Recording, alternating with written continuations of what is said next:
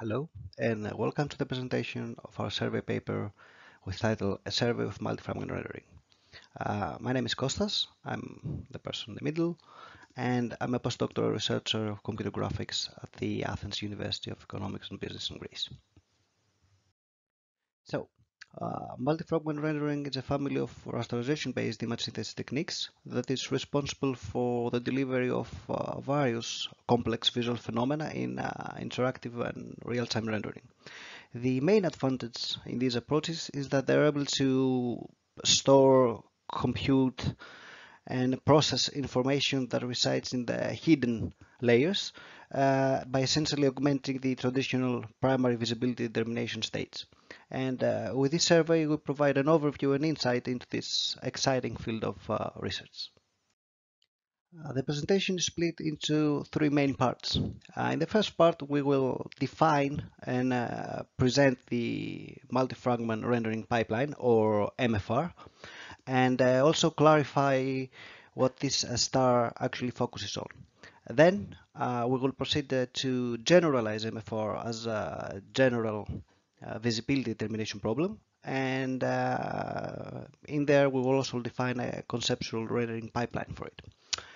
In the second part, we will uh, elaborate and discuss this pipeline. And we will start by detailing construction strategies for the various uh, MFR data structures, the core operations that can be performed on them, and um, Finally, their mapping to the respective applications. And in the last part of the presentation, we will discuss some existing and hopefully exciting open problems and challenges, and conclude by presenting opportunities for uh, future research directions. So, uh, multi-fragment rendering uh, describes the methods and uh, algorithms, uh, data structures that uh, are used to produce, maintain, and process sets of uh, geometry fragments that first correspond to the same location in image space, and second, they are captured from the same viewpoint. Therefore, it does not describe methods that process information from multiple viewpoints and second, it does not describe data structures that uh, are addressable in object space like uh, voxelization techniques. And uh, also multi-fragment rendering uh, has been described with various other names in the literature, such as uh, deep buffers, layered fragment buffer, and uh, others. And uh, in this survey, we decided to avoid complicating matters further and uh, use the term MFR and multi-fragment rendering since it doesn't make any assumption on the data type that is captured uh, and it doesn't uh, contain the notion of uh, multiple viewpoints like in the LDIs. the main reason MFR has been researched in the past is due to its very interesting benefits. Uh, first, by exploiting information uh, from hidden layers, you are able to simulate uh, various effects that were not possible before. Uh, and examples, for example, include um, transparency, global illumination, collision detection, CSG, and others. Second, uh, it is based on the rasterization pipeline, and therefore it shares its benefits as well. And most importantly is that it's ideal for uh, techniques suitable for real-time rendering and dynamic content. Of course, uh, this is also a disadvantage uh, since it works mainly on uh, sample geometric data and therefore it results in most cases in uh, approximate solutions. Uh, however, uh, these limitations uh, in the last few years can be lifted by using hybrid rendering techniques or more advanced implementations like combining MFR with ray tracing or voxelization approaches. And finally, it is typically more expensive to evaluate compared to methods that operate on a single layer of information. Uh, now we will make an introduction to the fundamentals of uh, MFR and in this part we start with a brief introduction to the rasterization process and the problem of uh, visibility determination. Um, doing this will form the ground to formalize MFR and uh, introduce a conceptual pipeline that essentially augments rasterization beyond the traditional hidden surface elimination.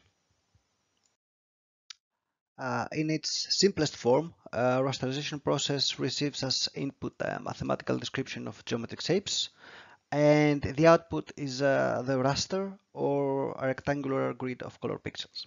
And in this process, uh, actually primitives are projected to the image plane, sampled usually at a fixed spatial rate, and uh, in the end they generate a set of fragments at a specific uh, pixel location.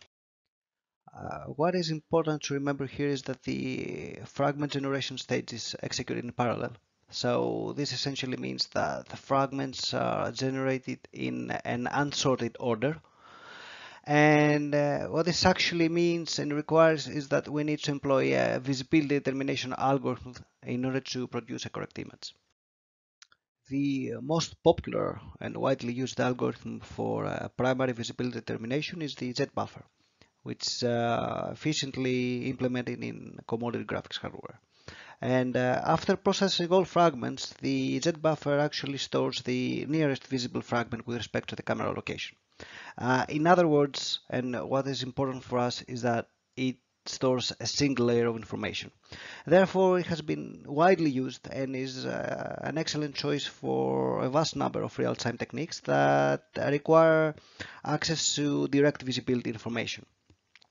However, uh, applications that require samples for hidden, either occluded or backface surfaces cannot be properly implemented by relying only on the depth buffer. With this information in mind, we can uh, proceed to define and generalize this problem as part of uh, multi-fragment rendering, which is uh, actually responsible for processing, storing, and operating on uh, multiple per pixel fragments. Uh, in that sense, primary visibility determination is a subset of MFR, uh, which means that it processes uh, multiple per pixel fragments, but it stores and operates on the closest one, while the MFR pipeline uh, operates and uh, stores uh, an arbitrary number of fragments. So uh, at a conceptual level, the MFR pipeline is uh, responsible for generating and storing and processing and evaluating information from uh, all incoming fragments. And uh, this pipeline is comprised of uh, three main steps. First is uh, construction. Then this is followed by one or more set of operations applied on um, the fragment sets. And uh, finally image composition which uh, composites the final image. And all these operations are actually defined by the context of the particular operation in mind. The construction step is uh, responsible for generating and storing uh, multiple per pixel fragments through a traditional rasterization procedure that is uh, repeated according to a fixed number of iterations. Uh, each iteration is executed in uh, one or more geometry rendering passes and in every geometry pass the outcome is that a fragment subset associated with a specific pixel is selected, stored and eventually sorted. Uh, what is important to remember here is that even though storing and sorting are two fundamental building blocks of the construction step, the sorting stage can be performed either explicitly or implicitly. And also with uh, respect to implementation, it can be applied either as a post-processing step or as an online algorithm, which means that uh, fragments are sorted as they arrive. After construction has taken place, the uh, next step performs one or uh, more operations uh, Uh, on the ordered fragment uh, data structure. The uh, most critical operation here is uh, fragment data traversal, uh, followed by other uh, optional ones such as mip mapping, compression, and others. the final part is the image composition, which is where the final image is composed and what actually does it uh, accesses and exploits the fragment information stored in the data structure so far in order to compose the final output. Uh, for example, transparency merges the sorted fragment list by blending in order to produce the final output. Now let's go into more detail to each part of uh, the pipeline. The first stage is construction and without loss of uh, generality uh, the MFR buffer construction techniques can be classified according to the uh, maximum number of uh, per pixel fragments captured in one iteration uh, for each method. So we actually have uh, three broad categories here. depth peeling, k-buffer, and a-buffer methods.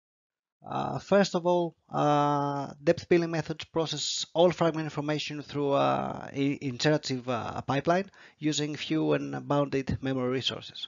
And uh, depending on the technique used, uh, each iteration uses one geometry pass and is able to extract a limited number of fragments, like one or two, uh, with a guaranteed depth order, which actually means that sorting actually happens implicitly in these methods. On the other side of the spectrum, a-buffer methods aim at capturing all fragments uh, in a single iteration step, so uh, this, uh, this, is not an iterative method. And uh, typically fragments are stored into GPU accelerated data structures during a single geometry rendering pass uh, that is followed by a post-sorting operation that uh, reorders them according to their depth. Uh, finally, K-buffer approaches offer a middle ground between uh, the traditional depth peeling and uh, the more advanced A-buffer approaches. Uh, in general, K-buffer methods are capable of capturing the uh, K-best fragments in each iteration, and in most typical scenarios by K-best we usually mean K-nearest uh, fragments with respect to the viewer. Uh, compared to depth peeling, using a k-buffer, usually we have um, we require fewer iterations, and that's because we can capture a larger subset of fragments in each iteration. However, uh, we are also required to manually sort the, the fragments ourselves. Probably the most well-known iterative MFR technique is the front-to-back depth peeling.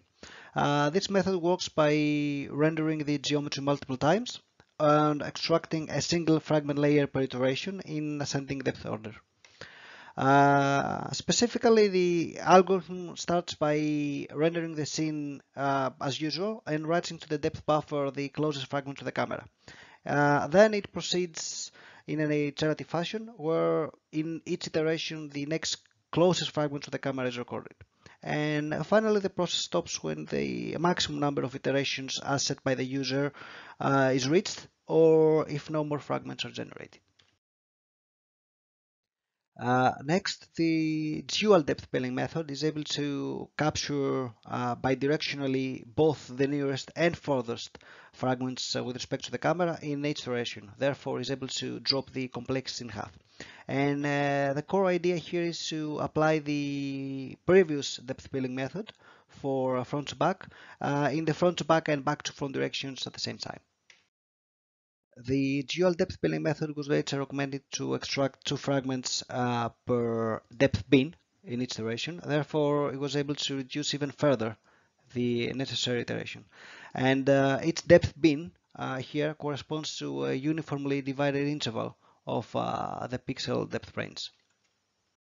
Uh, in general, depth peeling methods are susceptible to Z-fighting artifacts, uh, as in the Z buffer, and this happens when two or more generated fragments in the same pixel have uh, similar depth values. And uh, the authors here uh, proposed a number of solutions that mitigate the depth coplanarity issues that were present in uh, previous depth peeling methods. In general, the uh, main advantages of depth peeling methods is that they have uh, low and bounded memory requirements. they do not need post-sorting, and they support older hardware offering increased portability and ease of implementation in uh, diverse architectures. Uh, on the downside is that they can become uh, very computationally expensive due to the overhead imposed on the geometry processing stage for a large number of iteration steps. Uh, moreover, uh, they are mainly suitable for applications that rely on um, sequential fragment processing like uh, transparency. nevertheless, depth peeling algorithms are still widely used uh, nowadays, and the optimal choice when uh, sufficient visual quality can be achieved by processing only uh, a small number of fragments. Now let's move to the A buffer. Uh, conceptually, the A buffer uh, construction requires two stages. First, uh, a store stage, which is responsible to capture all fragments um, in one iteration in the form of an unsorted sequence and uh, second uh, sorting states where fragments are sorted according to their depth. Uh, the A buffer can be typically implemented either as a linked list or as a fixed size array or a variable size array. Uh, these methods uh, will be discussed next, and this will be followed by more general discussion on uh, A buffer sorting. Uh, historically, the first uh, MFR approach was the linked list A buffer. Uh, the uh, main idea here was to store the generated fragments, all of them, in uh, linked lists instead of keeping only the closest visible fragment. The GPU implementation actually requires two buffers uh, that operate on per pixel linked lists. one is the head buffer that contains the head pointers to each list, and second, a node buffer that stores their data and connectivity information. Uh, what is what is important to remember here is that since the lists are created in parallel, the use of atomic operations are applied to ensure the correct modification of the shared data. Uh, however, uh, linked lists suffer from uh, two limitations. First, uh, they require a memory preallocation step in order to reserve the memory space needed, uh, since dynamic memory allocation for new nodes is not possible within a shader. Uh, this is decided manually usually and uh, can result either in wasted space or memory overflow which is, uh, usually manifests as flickering. Uh, second, the non-contiguous allocation patterns of the linked lists can result in uh, memory indirections and cache misses, and uh, consequently they can cause uh, performance degradation. Uh, since the first uh, GPU implementation, the research community has uh, focused on uh, ways to alleviate the aforementioned uh, limitation. Um, these include improved cache coherency by memory paging, bidirectional traversal using double linked lists, and um, the exploitation of tiling mechanisms to mitigate memory overflow issues. Uh, a simple approach is the fixed array buffer. Uh, these techniques allow the storage of uh, all fragments in uh, uh, fixed size per pixel arrays. Uh, these methods are usually implemented with the assistance of an additional count buffer. Uh, compared to a linked list, uh, there's no need to maintain node pointers and uh, fragments are stored in uh, contiguous memory locations. Uh, this has a direct consequence in the cache coherence and therefore in the uh, speed. on the downside, these methods suffer from huge allocated memory space being wasted and this because in typical scenarios scenes have uneven fragment distribution, while uh, these methods uh, pre-allocate a fixed size array for all pixels. Uh, finally, uh, variable size arrays are an attempt to combine the advantages of uh, fixed size arrays and uh, linked list structures. And what this means is that they actually aim to store information in contiguous regions without over allocating memory space. And typically, um, these methods require two additional passes before the storing stage. First, uh, one geometry pass to count the exact number of fragments needed for uh, the allocation. And a second, a screen space pass, which uh, counts the per pixel head pointers through a prefix sum operation. And finally, this is followed by the actual geometry pass, which uh, fills the, the memory space using the information stored in the head buffer.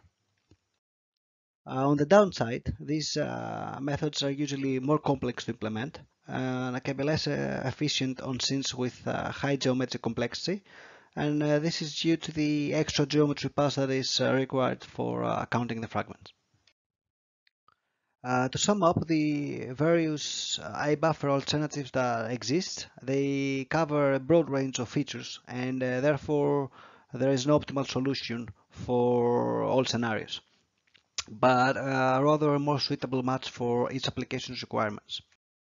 Fixed size arrays are the simplest to implement and most efficient in practice, but uh, can waste a significant amount of memory uh, that remains unused. So they should be employed on scenes with uh, uniform distribution or applications where memory is not an actual issue. Uh, traditional linked lists can accommodate more complex environments at the same memory budget uh, by trading uh, tighter memory allocation with uh, less efficient cache utilization. Uh, finally, variable size arrays are the most elegant and are preferred for applications with a stricter memory budget. Uh, however, due to the extra geometry paths required, they're not the optimal choice for environments with uh, high geometric complexity. Uh, so now let's uh, talk a bit about the sorting stage. Uh, after all fragments have been stored to the A buffer, they're uh, sorted by depth in a subsequent screen space pass, as we discussed earlier. Uh, this process in general uh, is divided into four main consecutive steps. First, the depth values of the capture fragments are fetched from the global memory. Uh, then the data is stored onto a per pixel local structure, like a local array. Uh, third, the local data is sorted based on the depth. And uh, finally, the sorted data is stored back into the uh, global memory. Uh, in typical environments, the fragment generation is not regular. So uh, the sorting process can actually result in performance bottlenecks. And this is due to several reasons. Uh, one is uh, due to poor coalescing uh, of global memory, something that is uh, mostly present in uh, lists during the read and uh, save stages. second, there's a bad local memory utilization during the store stage since neighboring threads contain different lengths of fragment lists. And finally, due to thread divergence during the sorting process for the same reasons as before.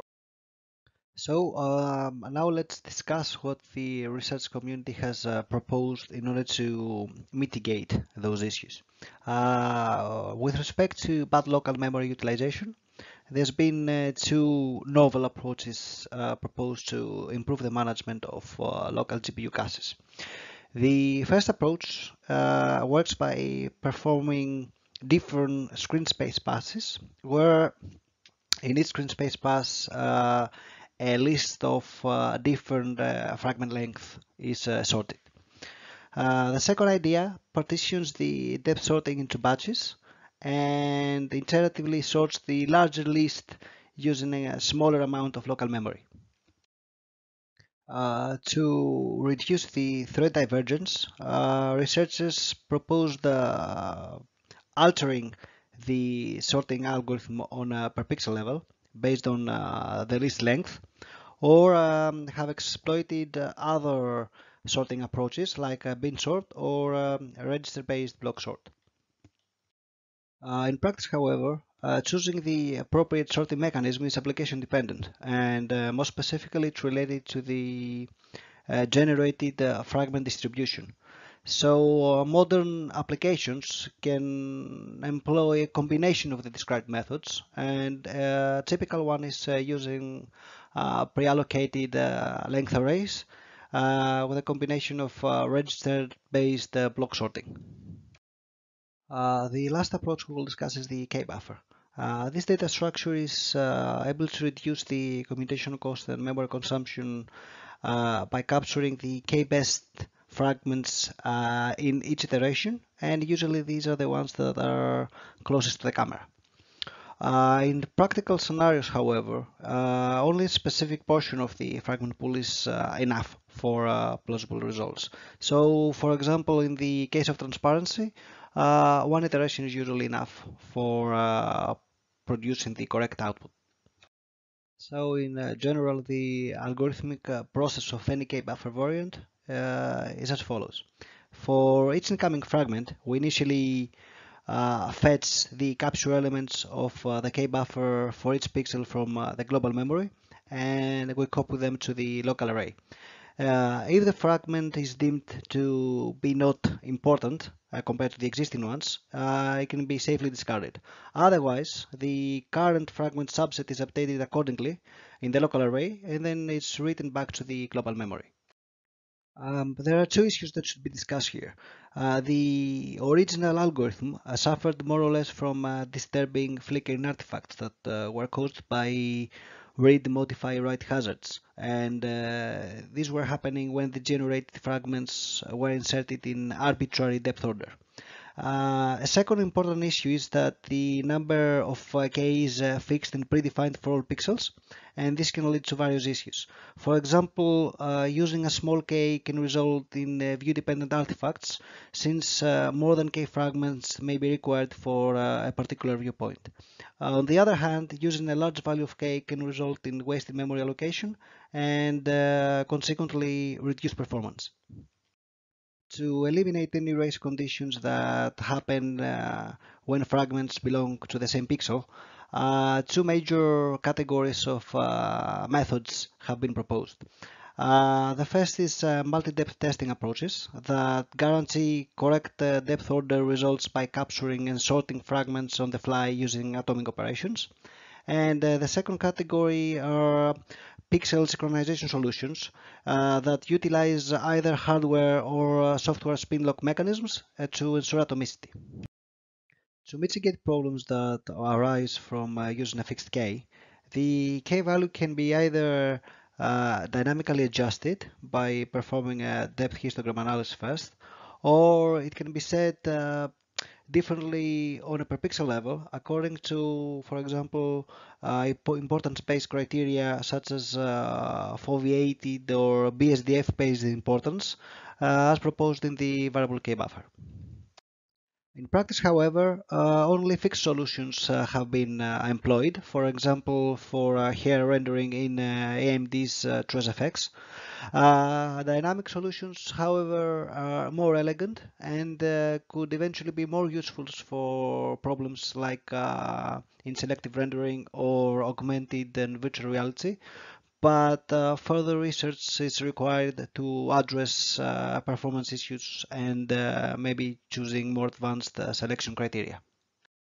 So uh, now we'll start discussing some of the most uh, common operations. the most widely used ones are probably the sequential depth traversal as well as the screen and pixel space traversal. The last two are usually what um, is referred to as uh, image-based ray tracing. Uh, other uh, operations uh, have also been employed in the literature uh, that essentially alter the data structure either through connectivity, composition, or uh, compression operations. The unidirectional depth traversal is by far uh, the most common operation. Uh, here, the per pixel fragment elements are accessed in sequential front to back or uh, back to front order. Uh, due to its very simplistic nature, it is used pretty much everywhere. However, order independent transparency and CSG are the most typical examples of this operation. Uh, the ideal data structure for uh, this operation are the array-based ones. And this is because uh, this operation requires or works more effectively with uh, contiguous element access, better cache locality, and uh, support of binary search. Uh, image space traversal is a critical part of uh, image space ray tracing. Essentially, what it involves is uh, the access of uh, fragment lists at uh, different and arbitrary pixel locations, uh, allowing the propagation of rays within a visual environment. this has been widely used in single layer techniques originally, with the most simple and efficient one being the object space linear ray marching. Uh, what actually happens here is that each ray is uh, sampled at a fixed object space location and uh, tested against the depth values for intersections. Uh, this approach performs uh, very efficiently, however, uh, it suffers from um, under and oversampling issues. Uh, this uh, can actually be remedied by iterating in uh, single pixel increments instead. Uh, for example, by employing a 2D digital differential analyzer. Uh, this method is able to capture both contact details and distance geometry. However, moving along every pixel uh, can become really fast, really prohibitive for real-time applications. To capture the entire image space domain effectively, uh, ray traversal can be also performed uh, hierarchically, uh, therefore reducing the complexity to logarithmic. Uh, this uh, typically has been accomplished uh, using different ways, for example by following a height field based approach, or by MIP mapping the depth boundaries, or uh, even through merging and clustering uh, similar neighboring fragments. Uh, once we visit a candidate pixel in image space, then we need to identify a potential intersection between the ray and the pixel and uh, this actually is performed by testing the image projected ray against all fragment samples that are assigned to that pixel. Uh, there are two major approaches here. First, uh, approximate solutions that uh, work by comparing the array's uh, depth extents against the depth samples depth extents in order to identify a hit. And second, analytic approaches that operate on uh, primitive indices instead. And these primitive indices are usually captured in uh, per pixel linked lists. And uh, these methods uh, can offer accurate ray primitive intersection tests. Uh, another interesting operation that can essentially alter the MFR data structure is the fragment neighborhood discovery. Uh, typically, this is uh, employed to enhance model visualization applications, for example, for uh, spatially aware transparency. Uh, apart from uh, sampling and filtering operations at the fragment level, though, uh, computing the connectivity between fragments of uh, neighboring pixels also allows for the estimation of uh, thickened boundary representations of the surface geometry. And uh, this is useful, for example, for uh, more robust collision detection applications. Multi-fragment composition is uh, a recently used operation for uh, the generation of uh, complex production images from uh, multiple sources. Uh, this type of operation actually enables some interesting additional capabilities. That, uh, for example, one can efficiently insert additional information from one buffer to another without requiring the entire frame to be re-rendered. Finally, a number of uh, offline and online techniques for uh, compression have been introduced, in uh, which uh, compressed data sets are computed in a way that do not significantly affect the visual quality of the target applications. Um, for example, applications like these include uh, order-independent transparency, shadows, and anti-aliasing. Uh, one idea here is to perform compression on a per layer fashion like this, uh, using image coding schemes where color and depth information for each layer are computed separately. Another idea is to perform a compression on a per pixel basis, where streaming algorithms have been used to perform, for example, on-the-fly rejection of or merging of uh, incoming fragments. Uh, in this last section, we identify some uh, key application domains of uh, MFR. Uh, if you recall, an application is uh, actually a complete MFR pipeline. Uh, it essentially uses the information that has been stored inside an MFR data structure and along with uh, the set of operations that uh, we already described, uh, it produces the final image. So uh, here we briefly present some of the most uh, important uh, applications uh, in this domain and uh, provide the recommendations for choosing an appropriate method for each problem. Uh, please note that there's a large amount of research here, so for more details, please refer to the paper. The majority of research ideas in the MFR domain has started by the demand for efficient and correct simulation of uh, transparent surfaces, uh, including hair rendering and uh, CAD visualization. The core idea here is to traverse the sorted uh, fragment list in a back-to-front manner and apply the overcomposition operator on the fragments color data in order to compute the final color of the transparent surfaces. Uh, in this category, actually, all types of uh, MFR data structures uh, have been researched and extensively. However, um, we recommend that uh, using a K-buffer is uh, the optimal choice since the transmittance along the depth axis uh, rapidly attenuates and can be compactly represented using only a few layers. Another important application that the research community has focused on is uh, shadow rendering. For example, uh, storing multiple levels of occluders on uh, compact uh, buffer representations as they are rendered from the light source uh, can enable various effects. For example, uh, soft shadows with uh, varying penumbra filters or the simulation of volumetric media or rendering of semi-transparent surfaces. alternatively, uh, you can store light receivers in uh, A buffer linked lists and uh, doing this it has been shown to produce uh, alias-free shadows for point lights through the concept of uh, irregular uh, Z buffers. Uh, in general, uh, shadow generation can uh, benefit from compact buffers since um, the stored information may correspond to either an approximate transmittance function or a partial occlusion estimate.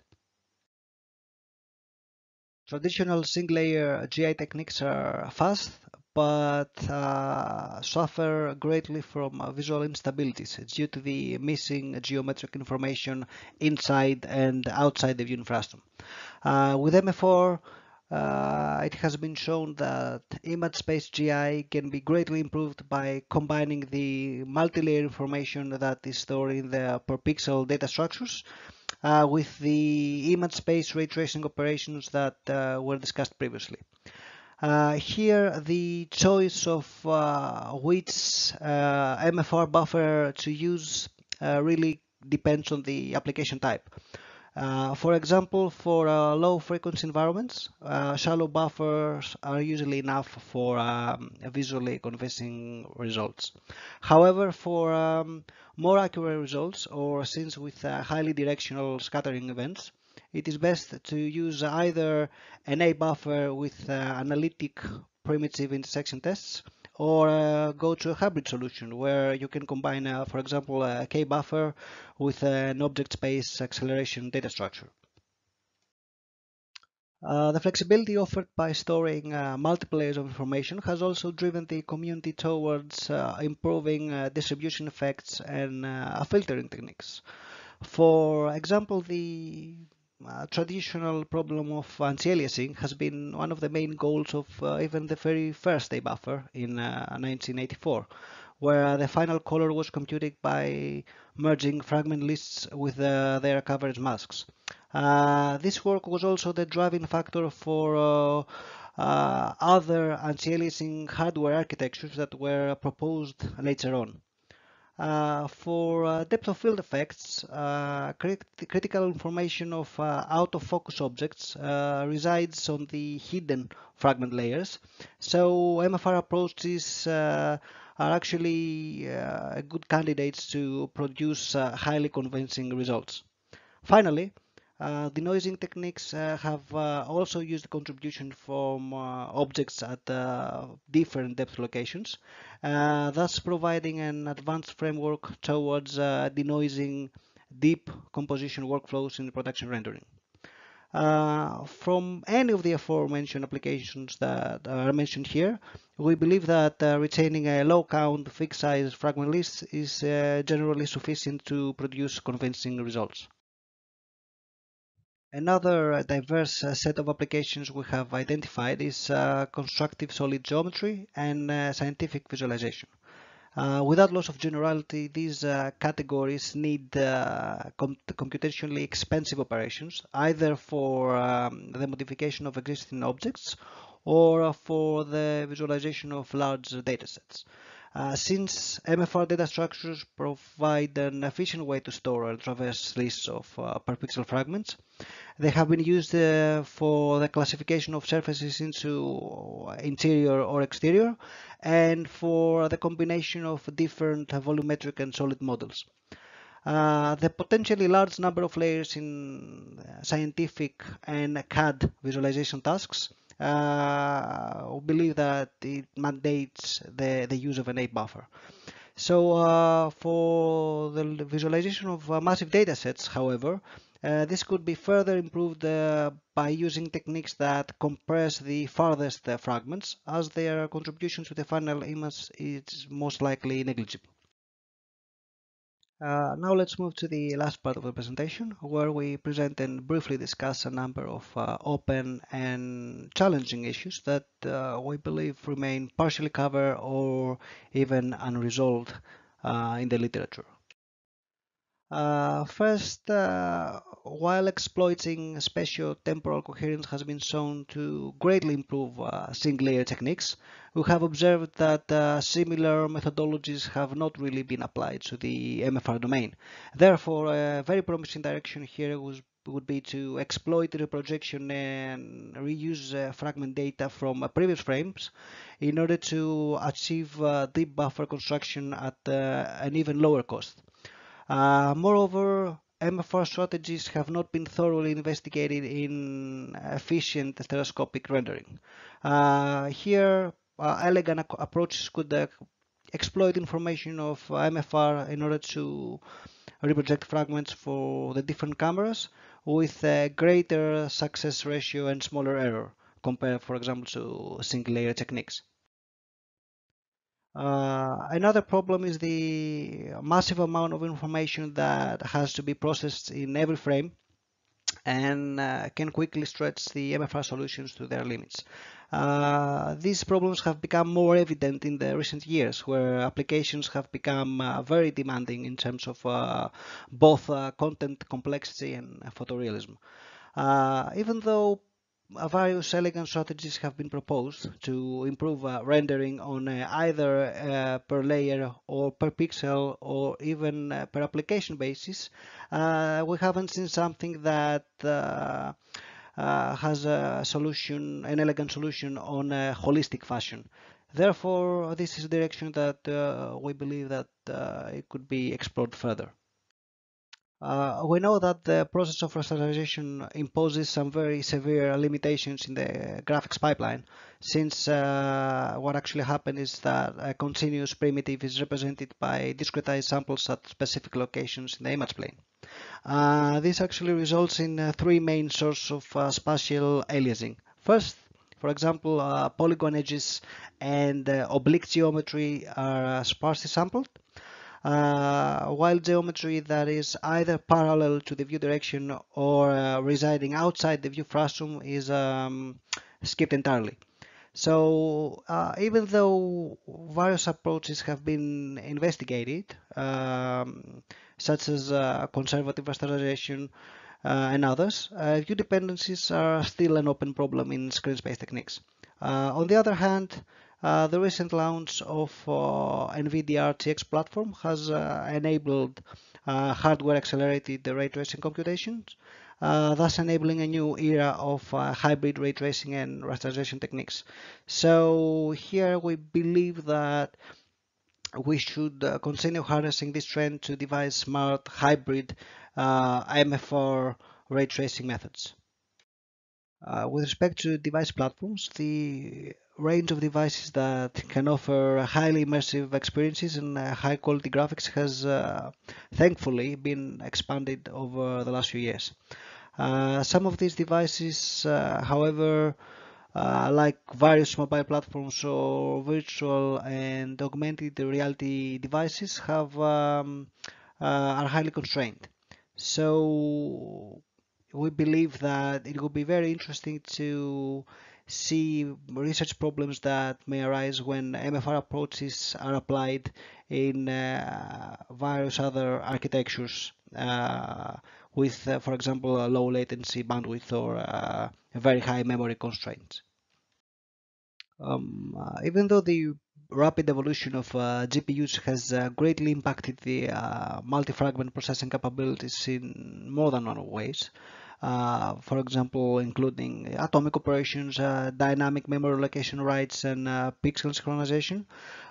we believe that novel specialized modifications to the current hardware pipeline are essentially required to enable full hardware accelerated support of uh, K-buffer or uh, A-buffer solutions on uh, future GPUs. Uh, for example, here some ideas may include uh, hardware-friendly MFR implementations or, um, for example, expanding variable rate shading to the depth domain. Lastly, uh, a very interesting observation is that the driving force on MFR research has been the improvement on the quality and performance of uh, transparency applications. Uh, however, the number of graphics applications that progressively rely on MFR solutions have increased, uh, like in uh, ray tracing and big data visualization applications. Uh, therefore, it would be really interesting to see the MFR domain covered to a larger application extent and um, see what further opportunities for research will be presented. Finally, we believe that there's a strong need for um, a generalized MFR framework for uh, prototyping and uh, for providing comprehensive benchmarks and validations for the complete MFR spectrum uh, based on uh, realistic and practical data scenarios. So uh, to finalize with uh, this uh, survey presentation, we provided an overview of an insight into the extensive yet active research on multi-fragment rendering. We presented the MFR pipeline. We discussed various construction strategies and uh, core image operation categories and um, their mapping to the respective applications. We also described features and uh, trade-offs for each class of techniques and provided some practical recommendation for choosing an appropriate method for each application. Finally, we offer a fruitful context for discussion by outlining some existing problems and challenges. Uh, I would like to close by saying that uh, this research has been uh, co-financed by Greece and the European Union and that uh, we are grateful to all the authors for uh, granting permission to use their images in the presentation and in the paper as well as to the anonymous reviewers for their um, Uh, constructive comments. Uh, more details uh, related to MFR can be found at our uh, research group and uh, our uh, corresponding GitHub page. And my colleagues and me are here and we would be happy to answer any of your questions. thank you for listening to the presentation.